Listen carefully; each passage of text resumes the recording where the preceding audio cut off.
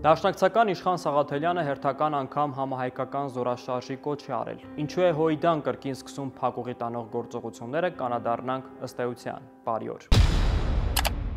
Հոյդա Գերագույն ժողովն արել է հայտարարություն, որում հնչեցնում է համահայկական զորաշարժի կոչ Հայաստանի եւ Արցախի ապագայի համար։ Հայեղափոխական դաշնակցության Հայաստանի Գերագույն ժողովը ճակատագրական այս հանգրվանում համահայկական զորակոչի համահայկական զորաշարժի կոչը հնչեցնում։ Սթափվելու, ընդվզելու մեր պետության ու հայրենիքին համազգային միասնության ճակատով տեր կանգնելու վճռական պահն է։ Եթե փորձենք հաշվել, թե այդ կոչը որերորդն է ոչ միայն հույդա հայաստանյան գործունեության, այլ նաև ընդհանրապես Հայաստանի հասարակական քաղաքական կյանքի անցնող 3 տասնամյակի ընթացքում, թերևս կկորցնենք հաշիվը։ Արցախը երբեք չի լինելու Ադրբեջանի կազմում։ Մեր ընդրությունը կյանքի կամ մահվան միջև է։ Հետևաբար մենք այլ ընտրություն չունենք։ Մենք պետք է ընտրենք ինքնապաշտպանության, պայքարի եւ արժանապատիվ կյանքի ճանապարհը։ Ես կոչ եմ անում բանակին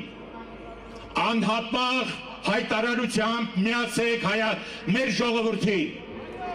Ես կոչ եմ անում ոստիկանությանը անհապաղ հայտարարությամբ միացեք ժողովրդին։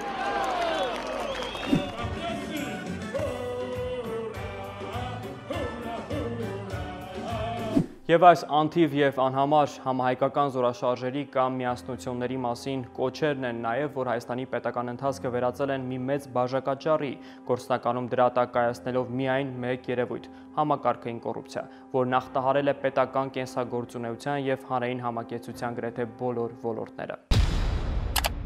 Որքան պաթետիկ են քաղաքական կոչերն, այնքան սուղ են քաղաքական գործերը։ Հայաստան ու Արցախն ապրելով քաղաքական պաթետիկ խոսքերի շռնդալից հոսքի պայմաններում ըստ էության քայլ առ քայլ հեռացել են քաղաքական գործի հերանեկարից։ Դա պետք է կանգներ գոնե 2018-ից հետո, սակայն մեծ հաշվով փոխվել են խոսքերի համատեքստերը, սակայն հասարակական քաղաքական կյանքի հիմքը շարունակում է մնալ նույնը։ Պարզապես ռազմահայրենասիրական պաթոսին կամ փոխարինել կամ ավելացել է հեղափոխական պաթոսը։ Հայաստանի Հանրապետության հպարտ քաղաքացիներ, սիրում եմ բոլորին, հպարտանում եմ բոլորը,